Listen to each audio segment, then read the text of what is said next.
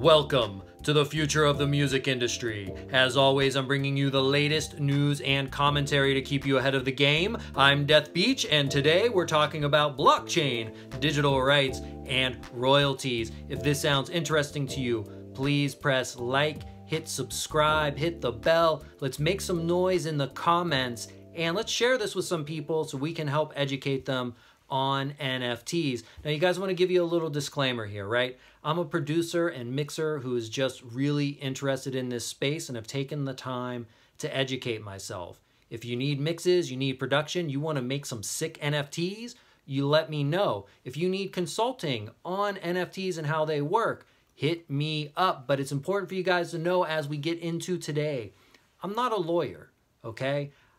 I understand basic copyright law uh, and I understand the technologies that they're trying to put in place here. Are there some gray areas? Absolutely.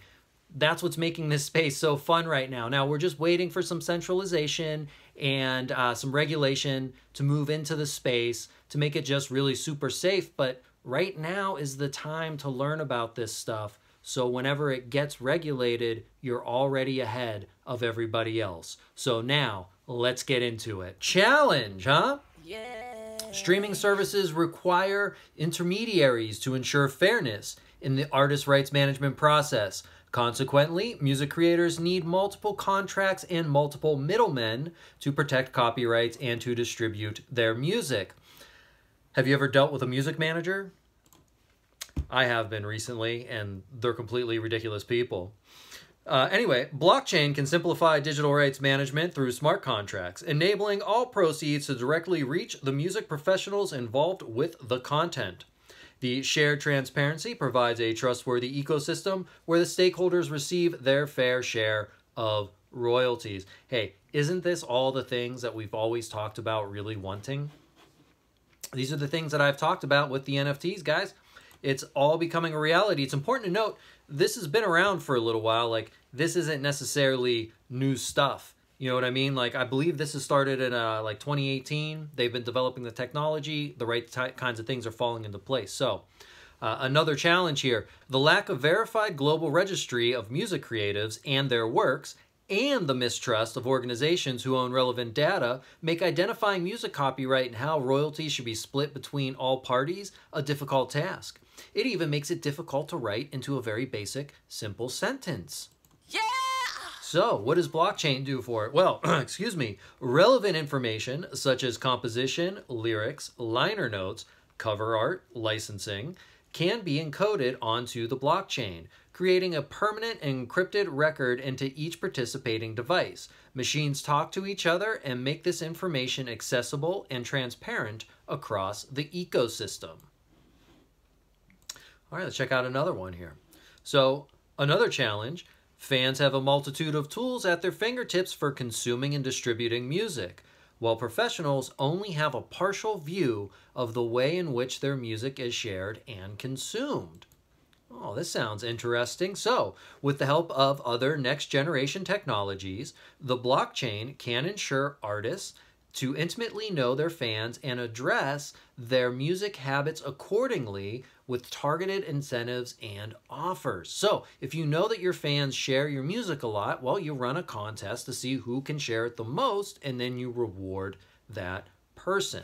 I think that this is just super awesome, and we've been talking about this stuff over here on this channel. If you've been here for a while, you know all about it. With so many ways to access music, piracy is a never ending struggle, eating into the royalties and revenue for everyone involved in the music business. Oh my God. Well, combined with other technologies, the security that the blockchain provides can be leveraged to prevent unauthorized distribution or ripping of content. Bet. What? That's right. No piracy. How are they going to do it? Well, they have some sort of technology that's going to allow for it. Now, I know that this sounds really crazy, but we're going to go ahead and check something like this out. So, we have rair.tech digital ownership encryption. So basically, they're marrying NFT technology with digital rights management. And that's what we see here in this little graphic. Now, we're going to read more about this. Uh, just want to show this graphic first. We have kind of the front-end user interface that we're going to be talking about. The third-party front ends is kind of like the actual thing that the they're accessing through this front end.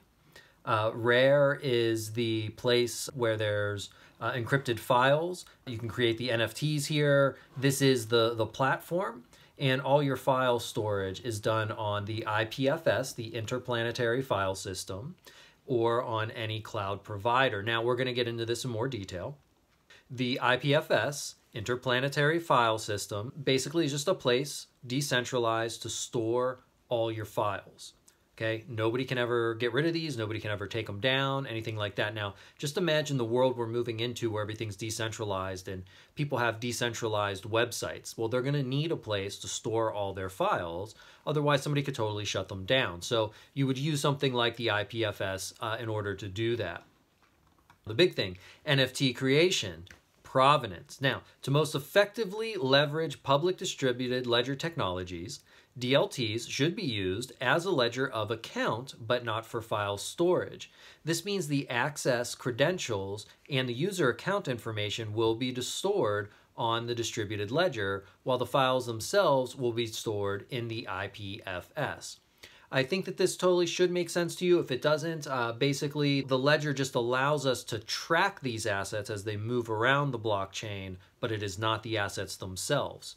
RAIR leverages the ERC 1155 standard to create unique non-fungible tokens for each asset that is uploaded to the RAIR key management system.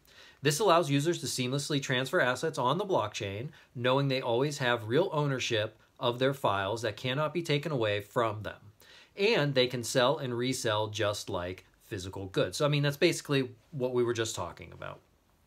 Okay, now this next one, uh, the encrypted viewer, this is really the thing tying it all together. So a browser-based file viewer is needed where access credentials are inputted. Then encrypted content stored on IPFS is made viewable for common file types such as ebook, readers, audio, and video players. So what this is basically saying, okay, is if you have the NFT, it is the key to unlock whenever you go on a site this content. And it accesses this content that is stored in the IPFS. So hopefully this kind of clears up how it will work. Now here's an article uh, just kind of going a little bit more into RAIR. So let's go ahead and take a look here. RAIR wants to use NFTs to manage digital rights. The company provides a blockchain-based digital rights management platform and middleware encryption to enable digital scarcity. It wants creators to be able to upload media such as video, books, music, source code, or art on the RAIR platform, stored inside a non-fungible token. Creators can license, own, and control the distribution of their content and make money on sales and royalties, RAIR says that creators will keep 90% of the profits, while the other 10% presumably goes to Nair and node owners. Now, Nair is probably the native token. Uh, there's probably some sort of staking platform, and the node is essentially where the distributed ledger is stored. So there are multiple nodes. The ledger is distributed to uh, amongst all of these nodes. Uh, now, I think it's kind of important uh, on the last page where we were talking about this stuff here you know, so on RAIR, the content is encrypted. And to decrypt it, you must have the token. I just feel like I should clear that up a little bit. I feel like this kind of cleared that up, but uh, anyway, moving on. So the creators, songwriters, or artists, not all of us are blockchain savvy. So how do non-tech users who do not want to get involved with NFTs monetize their content? I was going to read this next paragraph, but it's weird they're going to be a hosted marketplace where it'll just be very easy to go on and in a couple of clicks you'll upload your file it'll turn it into an nft for you and you don't really have to worry about it. Uh, guys this is very similar to mintable Rarible OpenSea. I mean uh, well OpenSea you can't create the token on there but it is really easy to go to these sites and create the NFT. The the thing that you really need the help with is what are you including with the NFT? Like what is making it special beyond it's just a song, right? this is the gap that needs to be bridged for a lot of people. Uh, so just something to think about, something you can talk to me about anytime. All right, so I just a couple more points here. So it also wants to bring video streaming into its offerings where the artist adds content to a RAIR node. Now, if a collector buys the piece, they can unlock the provenance footage proving the NFT is the original. Okay, this is fantastic. Uh, what they're saying here is, you know, if I buy this video, okay, I'm able to go and see the original footage wherever it's living in IPFS, okay? Verifiable on the blockchain. We can see that the original creator created it and put it into this particular storage. We can view all of this on the blockchain. Although it is currently prohibitively expensive to use Ethereum, there are plans to use faster blockchains such as Cardano, Talos, or Near later this year to scale the authentication layer for RAIR Node service and inexpensively mint NFTs in bulk. I'm sure you guys know minting the NFTs on Ethereum is crazy expensive. You can mint the NFT essentially for free over on Mintable to get it on sale.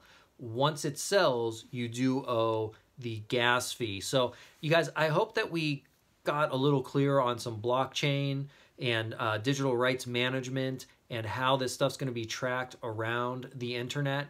Uh, of course, we'll be using Web3 is going to be part of this, but hopefully just these sites, you know, IBM's working on it, RAIR's working on it, everybody's working on it. We got it coming really soon. We're this early. I've brought you this this early. You guys found it this early. We are this early. We can design things to be really the way we want. However, we're thinking of it. We can create really awesome packages with the NFTs. So I'll be talking to you guys really soon. I have some ideas for videos coming.